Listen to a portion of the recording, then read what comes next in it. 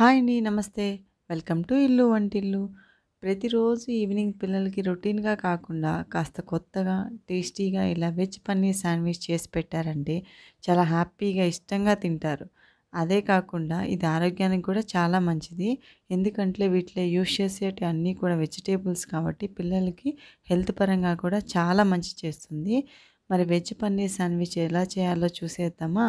Video skip చేయకుండా చూసేయండి మరి. ముందుగా ఒక బౌల్ తీసుకొని ఒక హాఫ్ కప్పు గ్రీన్ క్యాప్సికము లేదంటే రెడ్ క్యాప్సికమ్ అయినా తీసుకోవచ్చు. ఒక హాఫ్ కప్పు సన్నగా కట్ చేసి పెట్టుకున్న టమాటోస్, హాఫ్ కప్పు తురిమిన క్యారెట్, హాఫ్ కప్పు సన్నగా తరిగిన ఉల్లిపాయ ముక్కలు, ఒక మూడు పచ్చిమిర్చి సన్నగా కట్ చేసేసుకొని వేసేసుకోవాలి. మీకు పచ్చిమిర్చి వద్దనుకుంటే స్కిప్ చేసేయచ్చు. కారమైనా వేసేసుకోవచ్చు ఈ ప్లేస్‌లో. ఇప్పుడు ఒక మూడు టేబుల్ స్పూన్లు పన్నీర్ సన్నగా కట్ చేసి వేసుకోవడం వల్ల స్టఫింగ్ అనేది చాలా బాగుంటుంది. కాబట్టి సన్నగా కట్ చేసేసుకోండి.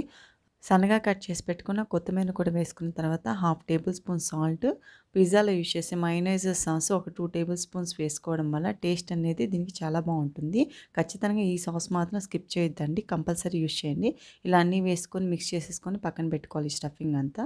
ఇప్పుడు మనము శాండ్‌విచ్ ప్రిపేర్ చేసుకోవడానికి నాలుగు బ్రెడ్ స్లైసెస్‌ని తీసుకొని ఒక హాఫ్ టేబుల్ స్పూన్స్ బటన్ తీసుకొని ఇలా ఒక బ్రెడ్ పైన వేసేసుకొని బాగా స్ప్రెడ్ చేసేసుకోవాలి.